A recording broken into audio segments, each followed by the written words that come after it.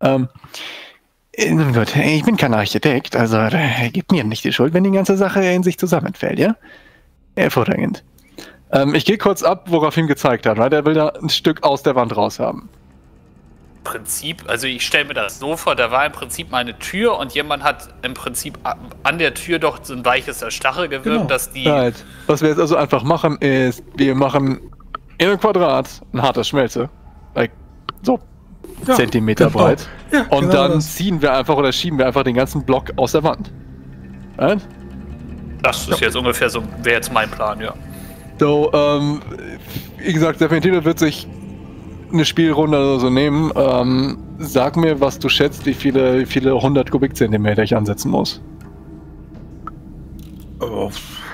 Also das kannst du ja beliebig äh, wenig machen, ne? Dann wird es halt mehr Richtig, Kraft, es kostet Kraftaufwand für Rafim. Zum Achso, okay. Rafim ist kräftig, also nehme ich das Minimum von Sekunde, ich muss in den LC schauen.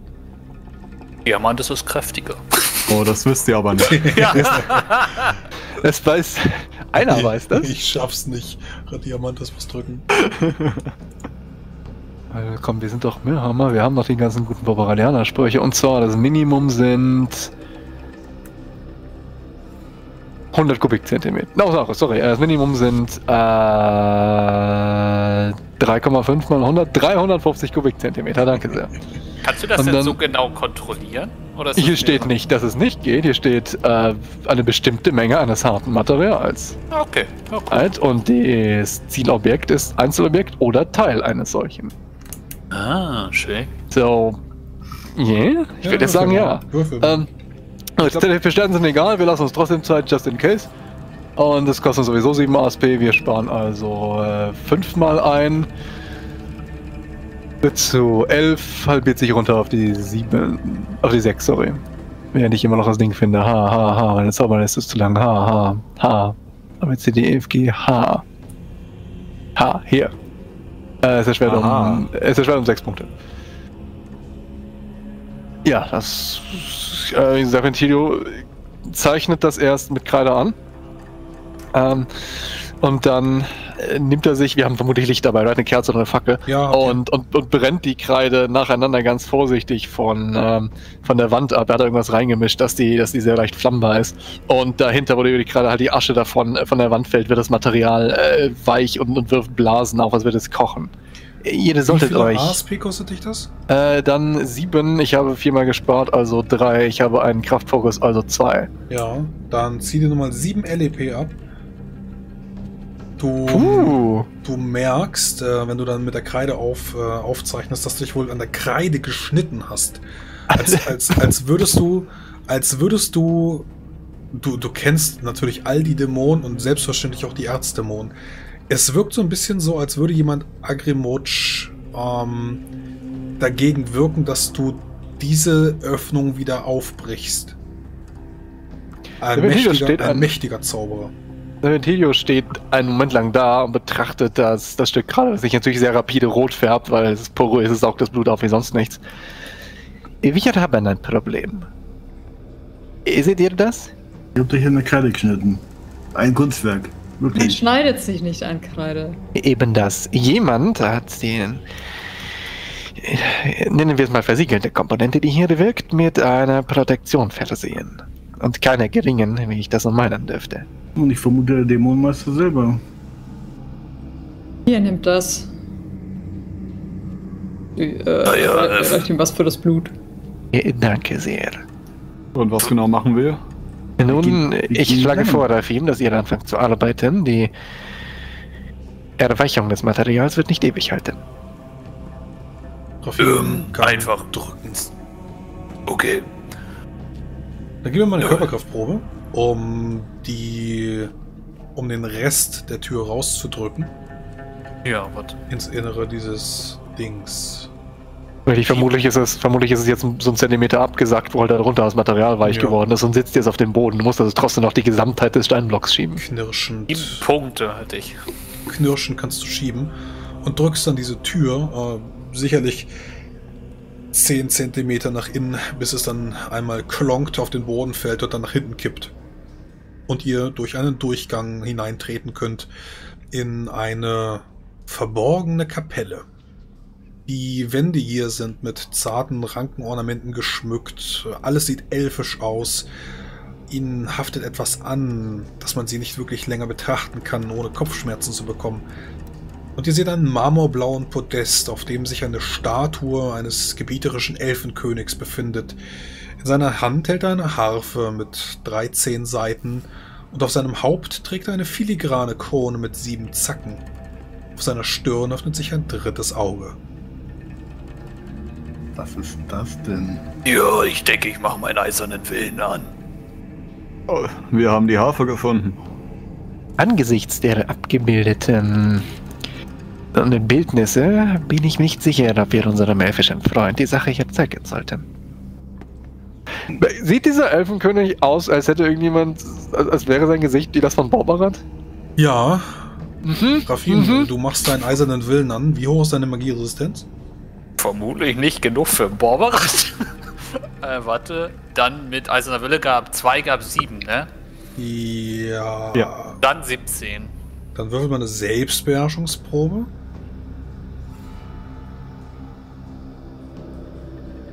20 Punkte maximal. Also Erschwernis. Du siehst, dass dort kein, äh, keine Statue steht, sondern ein großer Spiegel. Du, du, hast, du hast es gesehen, dass diese Statue dort eben stand und dann machst du, machst du deinen Willen an, du denkst an die Armbrust, wie Boltax es dir immer gesagt hat. Wo ist eigentlich Boltax? Du weißt nicht, wo Boltax gerade ist. Eigentlich sollte er mit euch gekommen sein. Und während du an ihn denkst und an die Armbrust, da siehst du nur einfach diesen gewaltigen großen Spiegel mit einem großen Horn in der Mitte. ja, ich hoffe, ihr seht alle das gleiche, was ich auch sehe, richtig? Es kommt eine Fragezeichen. Diese Statue habe ich nicht gesehen in meiner Vision, nur die Harfe. Sie muss wohl in meinem Rücken gewesen sein. Da ist, mir- da, da ist ein, da ist irgendein Spiegel, da ist keine Statue. Oh, das, Das ist nicht gut. Das ist wie diese Tür. Ein Spiegel, sagt ihr. Äh, Beschreibt den mir genau. Wie ist der Rahmen beschaffen? Ich würde ihn so genau beschreiben, wie ich kann. Das irgend so ein Horn in der Mitte. So ein, Schiller, Also- so ein schillerndes Grün, so ein schillernd grüner Rahmen. Ja, ich versuche gerade nur auszuschließen, dass wir irgendwie vor einem Ogerspiegel stehen. Ja, schillernd grün, würde ich sagen. Riesengroß. Hilft Magiekunde hier einem? Ist das ein, Artefakt, von dem man mal gehört hat aus längst vergessener Zeit? Oder ist es hoffnungslos? Oh, Magiekunde-Probe plus 13. Puh, angemessen. Dämonologie zählt nicht, nehme ich an. Zählt. Oh, dann habe ich äh, sogar fünf über. Ah, das ist kein Dämon, den du jemals beschworen hast, weil er einzigartig ist. Und selbst das Dämonikon schweigt sich über ihn aus. Aber es gibt Fragmente, die du wohl in Brabak gelesen hast, dass Borberat den Xarlerot beschworen hat, den spiegelnden Waren. Und dann hier vergessen. Oder als Wächter zurückgelassen hat. Ihr solltet euch nicht nähern, denke ich. Vielmehr sollten wir alle langsam und sorgfältig rückwärts den Raum verlassen. Und mir jemand ein Stück Kreide besorgen, damit ich einen Bannkreis aufziehen kann. Wir Bitte diese verdammte Harfe. alles zu seiner Zeit, Abelmir. Macht jetzt Ja. keine falsche Bewegung. Geordneter Rückzug. Also Ja. nehmen wir die Harfe jetzt nicht mit. Ja, lass doch erstmal die Magier arbeiten. Komm, Diamantes, ich schieb Diamantes mal mit meiner Hand so langsam, so ganz langsam. Ja, du, du versuchst das vielleicht kurz und äh, dann, wenn Diamantes mitläuft, funktioniert das auch. Dann ist so an der Wand. Was? Also du was? merkst, wie Rafim sich auf jeden Fall so kurz umdreht. Zu, zurück, Rafim. Hier, hier ist sicherlich irgendwas Schlimmes. Also, Also der Rafim- Magier haben schon recht. Du konntest, du konntest auch sehen, dass es wohl äh, hinter dem Spiegel gab es eine Treppe nach unten. Da geht es wohl noch weiter. Warum auch immer die anderen jetzt nicht mitwollen. Ja, also hinter dem Spiegel ist eine Treppe, aber kann mir mal jemand sagen, warum wir abhauen? Ja, Wenn der sobald wir Dämonologe draußen sind. sagt, dass du dich zurückziehst, dann ziehst du dich zurück. Ja, und dann ja, vorsichtig zurückziehen. Sobald wir dann draußen sind, macht Serpentino so ein kleines Metallschächtelchen auf, in dem er, weißt du, wie so ein Kettenraucher, der seine Kippen drin hat, hat er da irgendwie fünf Stück äh, verschiedenfarbige Kreide und, und fängt auf dem Boden die wild an zu zeichnen. Nun, ich will euch nicht mit den Details langweilen, aber äh, es gibt Dämonen, äh, wisst ihr sicherlich, aber mir, äh, die trotz der Tatsache, dass auch sie natürlich nur aus primärrealer Masse bestehen, äh, trotzdem einzigartig sind, richtig? Und nicht nach dem Willen des, äh, des Beschwörers aus dem allgemeinen äh, Sammelbecken gefordert werden. Ja, worauf wollt ihr hinaus? Äh, Nun, jeder ist sich auch darüber im Klaren, dass ein solcher entsprechend einzigartiger Dämon, der im Grunde eine Zwischenstufe zwischen der eigentlichen dämonischen Entität und einer erstdämonischen darstellt, äh, prinzipiell relativ mächtig ist. Ich weiß immer noch nicht, worauf Äh, Nun, ein solcher, wollt. der wohl ähm, vor längerer Zeit einmal, äh, sagen wir, verlustig gegangen ist, den Niederhöllen ist, äh, so wie ich das sehe, dort eingebunden. Oder zumindest ein Spiegelbild von ihm. Ihr versteht meine ähm, leichte Konsternation über die Aber Sache? Könnt ihr ihn bannen oder könnt ihr ihn nicht bannen? Oh, vielleicht, aber ich werde es garantiert nicht versuchen, ohne hier einen Bannkreis angelegt zu haben, nur für den Fall, dass er ausbricht und uns alle in Fetzen reißen möchte. Ja, also was ihr sagen wollt ist, wir sollten uns kampfbereit machen.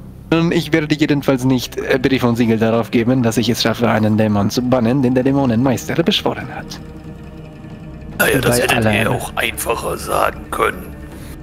Ja, aber dann würdet ihr meine Beweggründe nicht verstehen und dies ist wichtig. Ja, mögt ihr nicht Unrecht Äh, haben. Kapitän, wie viel Zeit haben wir? Nun, diese Frau war erstaunlich kooperativ und das hier ist wichtig. Äh, Von was für Zeitraum sprechen wir? Nun, haben wir mehr eine Stunde oder mehr einen Tag? Eher eine Stunde, fürchte ich. Könnten wir uns nicht magisch tarnen und ihm vorbeischlüpfen? Wollt ihr euch darauf verlassen oder wollt ihr etwas im Rücken haben, das ihn fängt, wenn es darauf ankommt? Nicht unbedingt, aber es wäre eine Option, nicht wahr? Dachte ich mir. Also eins nach dem anderen. Lasst mich arbeiten. Ähm, wir malen einen Bandkreis gegen Gehörnte. Äh, Idee hier, dass, ähm, was auch immer ich für einen Schutzkreis zeichne, er fängt sowieso, er hält das Vieh sowieso nicht draußen, aber mein Kreis fängt es erstmal, man muss da eine Spielrunde drin hängen. So, you know. Also nur für meine Vorstellung, wir sind jetzt gerade wieder in dem Raum, wo ich, bevor ich die Tür rausgedrückt habe, und du Genau. malst im Prinzip Das auf ist- den Boden Das ist zwischen der der, genau. zwischen der Widerwille-Raum und dem davor, okay. Das Richtig. Gute ist, wir sind immer noch hinter dem Widerwillen, das heißt, niemand wird Ja. uns behelligen. Und wenn wir dann hier rausgerannt kommen, fängt das Vieh hoffentlich in den Bandkreis und wir können türmen, bevor es weiterlaufen darf. Falls es Okay. läuft. Also unser Plan ist nicht, dass der Bankkreis uns wirklich das äh, Vieh umbringt, sondern dass wir im Notfall eine halbe Stunde gekriegt haben, in der es dann halt die Piraten draußen schlachtet. Genau. Okay. Respectable. Also, Ähm, du weißt genau. auch um die Natur, äh, das ist äh, ein Diener von Amazeroth. Also, er wird höchstwahrscheinlich nicht kämpfen. Er hat halt eine andere Funktion. Aber dementsprechend wird es umso schwerer, ihn zu bannen, beziehungsweise äh, ihn zu täuschen. Das wird eben besonders kompliziert. Weil er Mhm. eben aus Amazeroths Dom- Domäne kommt. Wird wahrscheinlich nicht so kampfstark sein. Hat jemand noch das Samotoxin?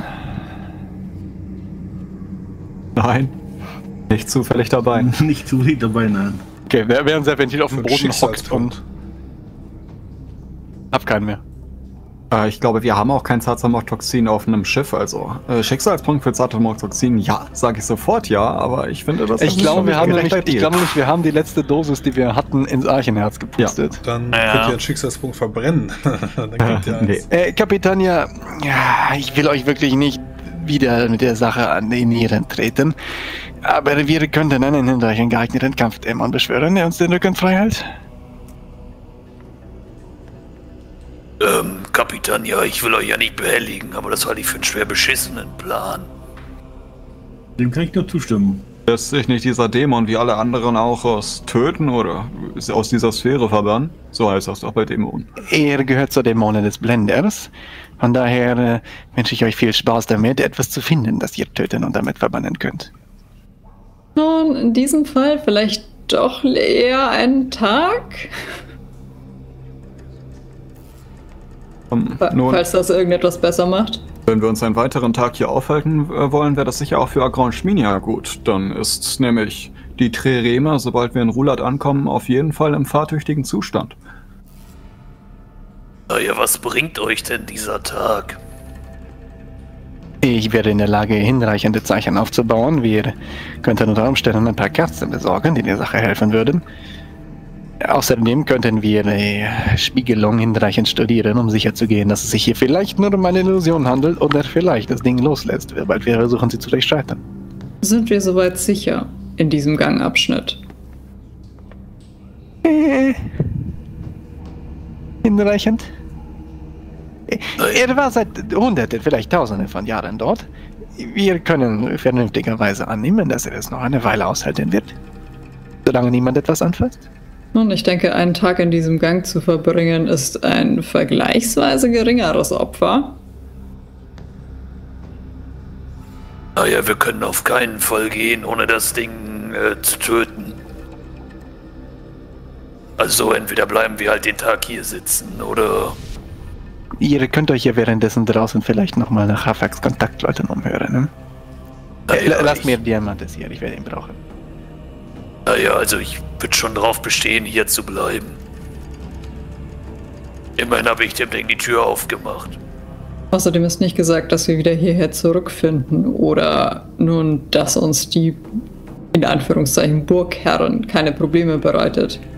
Ich glaube, wenn dieses Ding rauskommen wollen würde, dann hätte es das schon getan. So viel ich von Dämonen verstanden habe, von Sem- äh, und berichtige mich, falls das falsch ist, aber sie sind doch an ihren Befehl gebunden. Sind sie in der Tat. Das Problem ist, dass wir den Befehl nicht erahnen können und ich erwidere noch einmal, dass es sich hier um den Dämonenmeister handelt. Die vorhandenen Befehle eine durchaus komplexe Schachtelung mehrerer ineinandergreifenden sein könnten. Vielleicht sollten wir erst mal ausfinden, herausfinden, was der Auslöser eventuell für diesen Dämon ist. Hervorragend. Geht vor und nimmt die Analyse vor. Das würde ich ja machen. Naja, ähm, habt ihr was dagegen, wenn ich euch begleite? Nur falls ihr das Nein, überhaupt, ausrastet. überhaupt nicht. Wunderbar. Mit diesen Worten würde ich meine Waffe vom Rücken ziehen. Ich würde mal wieder diesen Raum vorgehen, bis ich diesen Elfenkönig sehe. Ja, genau. Also es ist äh, quasi. Du hast schon davon gehört, dass sich Borberat wohl auch in verschiedenen Zeitaltern, in verschiedenen Rassen versteckt hat. Das ist jetzt wohl der elfische Borberat. Warum auch immer jetzt und hier und mit drei Augen. Du kannst seine sechs Finger erkennen, die 13 zackige Harfe und die, die Krone. Die Krone. Was liegt denn noch so im Raum? Sonst nichts. Keine Treppe, kein gar nichts. Nein, Okay. es ist ein, ein Tempel für diesen, ähm, für diesen ein, ja, also, es ist ein, eine Kammer, eine, es ist ein Tempel, Hm, eine ja gut. Kapelle für Dann diesen würde ich- Podest. Dann würde ich erstmal Analyse wirken. Wohlwissen, ich mache keinen Odem davor, um den Tickler-Effekt nicht auszulesen im schlimmsten Fall. Das passiert ja beim Analyse ja nicht. Es war seltsamerweise. Dann den Bei kann bitte in die Box. Oh, das Ich würde ist gar nicht dafür. seltsam. Ist äh, gar nicht seltsam, den Analyst in die Box. Habe ich das Ah. Gefühl, dass sich irgendwas verändert, während ich mir das angucke? Oder ist es einfach weiterhin der Spiegel und dahinter Sorry. die, diese Tür? mal. Oh, jetzt hast du den nicht in die Box geworfen. Deswegen sage ich ja, ich mach's nochmal. Ja, ähm, nee, du Wurf. hast, du hast ähm, nicht das Gefühl, dass sich der Spiegel verändert. Ja doch, die Oberfläche kräuselt sich vielleicht so ein bisschen, als ob sie auf Abelmir reagieren würde. Ähm, du hörst so ein leises Flüstern am Rande deines Geistes, als würde der Dämon gerne mit dir Kontakt aufnehmen, aber der eiserne Wille verhindert es. Ich habe jetzt den, Box, den Wurf in die Box nochmal gemacht. okay. Ja. Du äh, versuchst die Matrix aufzuziehen, äh, hast dich nicht auf diesen Ort eingestimmt und siehst dann wohl auch, dass die Matrix von dem Podest, sie, sie, sie, sie wird zugehalten. Du musst dich wirklich dagegen stemmen. Also irgendwie wirkt ein Hellsichtszauber dagegen, gegen eine Präsenz, gegen ein, ein Trugwerk. Und dann kannst du den Du betrachtest noch einmal diesen Elfenkönig vor dir und siehst dann aber auch wie Raphim den Spiegel vor dir mit seinem Horn und diesen grün schillernden chitinartigen Rändern. Wieder hörst du die Oberfläche, wie sie zu dir wispert und raschelt. Ja, Abelmir, eine ganz ehrliche Einschätzung. Wenn ich jetzt mein chorgeweihtes Schwert nehme und so doll ich kann in diesen Spiegel schlage, schlecht oder gut für uns? Was, was für ein Spiegel. Na, den da vorne. Ich, tut mir leid, ich sehe nur diese Statue. Ja, da ist ein Spiegel, glaub Ja, mir ja, du, du siehst also jetzt durch den Analyst, Ach du so. siehst ihn, ja, Ach so, ja. Du, okay. Ach so, du- also, okay. du- also er, irgendwas hat sich dagegen gestemmt, aber dein, dein Analyst war gut genug, um das zu durchdringen. Hm, es könnte helfen, es könnte aber auch die Sache auslösen. So oder so. Es spart uns einen Tag.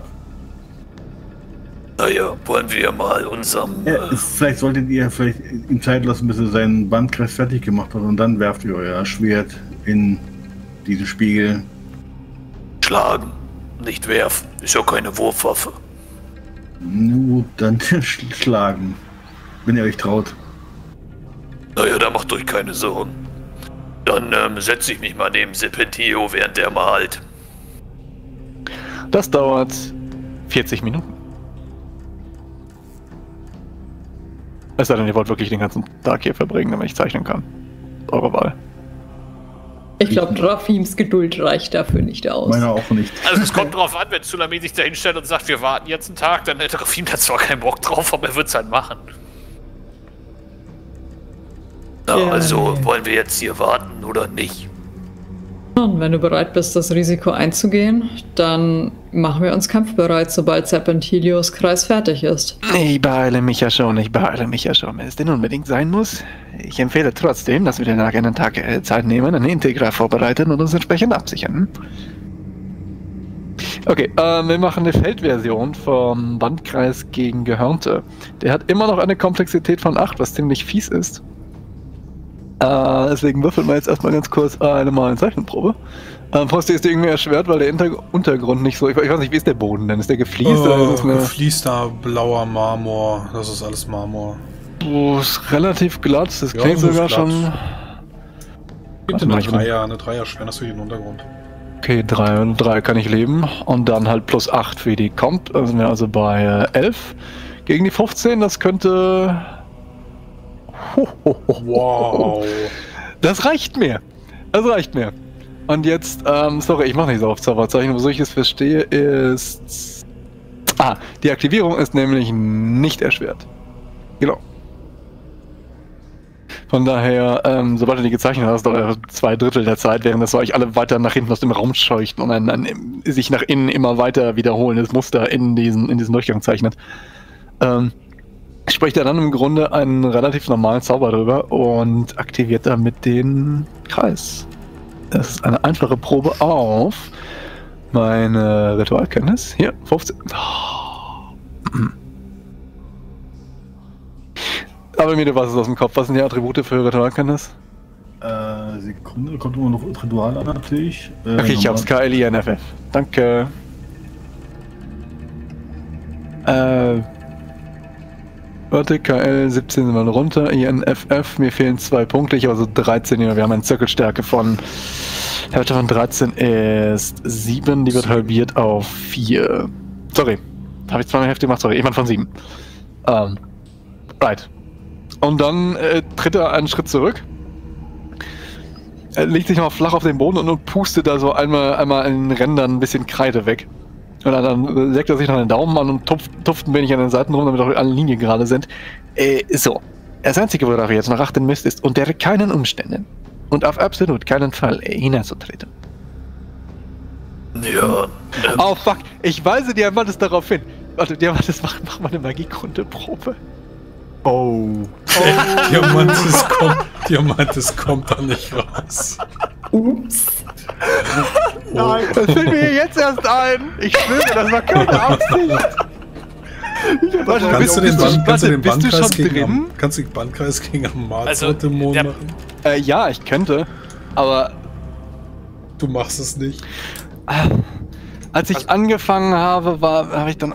Nee, nee. Dann gib mir Diamantes Was? den Warte, Schicksalspunkt Was, was? für Richtig, nächste, nächste Diamantes, Runde. möchtest du einen Schicksalspunkt ausgeben? Nächste, den, den Schicksalspunkt von nächster Runde. Aber warum? Äh, Den Schicksalspunkt von dieser Runde habe ich nicht ausgegeben. Na gut, man kann es ja versuchen. Okay, dann, dann wird Serpentino daran gedacht haben, diesen Kreis gegen äh, Mazeroth-Dämonen auszulegen. Denn das macht ihn tatsächlich auch äh, effektiver. Nur Ja. Effektivität war mir halt eigentlich total wurscht, weil äh, er hält den sowieso nicht lang, deswegen habe ich nicht dran gedacht. Oh, das wäre so Wär peinlich, die lustig. Auflösung. Es wäre so funnig gewesen, wenn ich da nicht dran gedacht hätte und dann irgendeiner gesagt hätte, Moment mal, Diamant ist nicht ein Gehörnten und hätte wir hinterher sind wir schon längst drin sind. Ich hätte es vor allem nicht gesagt, weil ich es nicht auf dem Schirm habe. Ich hab's jetzt auch nicht gewusst. Naja, dann gehen wir jetzt da rein und ich schlag diesen Spiegel kaputt und dann gucken wir, was passiert. Ich möchte noch einmal vor dem einen Protest anmelden. Jeder sollte uns wahrhaftig weiter absichern. Capitania, da werde... Ich weiß, ihr habt recht, aber das Ritual. Ja, natürlich, natürlich, ich verstehe euch. Ich könnte aus dem Handgelenk... Äh, vergesst es. Ähm, aber mir wollt ihr uns die Ehre erweisen, einen Guardianem aufzuspannen, oder soll ich? Natürlich. Danke sehr. Ach ja, übrigens, das hat mich 24 ASP gekostet, lass mal darüber reden. Ja, sehr gut. Wie viel regenerierst du nach meiner Nacht? Äh, ich weiß, oh, 20. 60 Ach oder ja, so. ach ja, danke, danke. Ich übrigens drei. Was ist, was ist 80 minus 24? 56? Ja, 56. Wenn ihr den Raum wieder betretet, äh, werdet ihr nichts daran sehen. Gar nichts. Keine Treppe, kein Podest, kein Spiegel. Naja, ich befürchte, das Vieh hat bemerkt, was wir machen. Es ist Wirklich? möglich. Es ist möglich, dass die Einbringung der aktiven Matrix des Guardianon-Zaubers eine Kontingenz ausgelöst hat. Ach, ich dachte, das wäre Daran hätten dein wir- Handwerk. Daran hätten wir denken, Navelmir. Hätten wir denken müssen, Navelmir. Ich gebe zu, ich war etwas besorgt um den Dämon, als um solche Art Erkennungsmechanismen. Ja, wir werden sehen, was passiert. Wie denn? Wo, wo sollen wir denn hin?